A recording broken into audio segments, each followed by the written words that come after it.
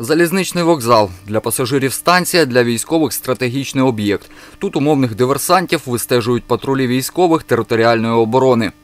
Ми є останній рубіж по охороні міста Миколаєва. Якщо ворог е, прийде вже до міста, е, до нашого міста, е, то територіальна оборона займає міста, які вже є визначені, і відпрацьовує охорону.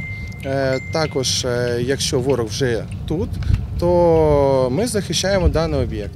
Пости тероборони розташовані на ділянках, звідки зручно вести спостереження та вогонь. Піші патрулі підсилені солдатами Національної гвардії.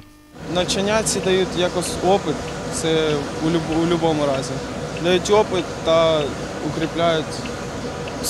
Якщо, якщо в ході щось станеться, ми вже будемо готові для прийняття якихось дій для запобігання цього.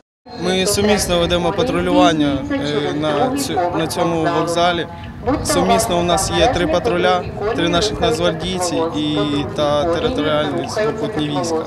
На Миколаївщині в навчаннях задіяно понад дві тисячі військовозобов'язаних. Територіальна оборона взагалі створена давно відповідно до керівних документів е, нашої держави.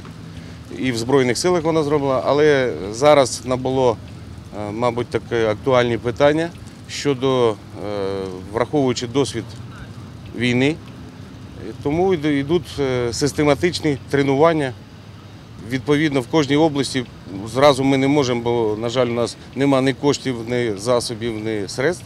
Тому ми вибірково робимо. На, на цей раз прийшла, допустимо, практичні дії Миколаївщини.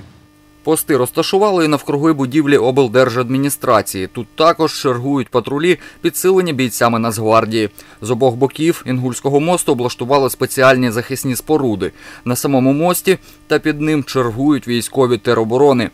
Це імітація вогневих точок е, на час, якщо потрібно буде військових дій.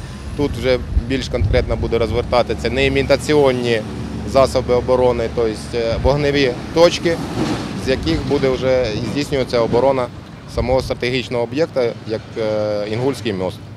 Збори розпочались 28 серпня, триватимуть до 6 вересня. Бійців розмістили на території колишньої лікарні моряків, де обладнані казарми.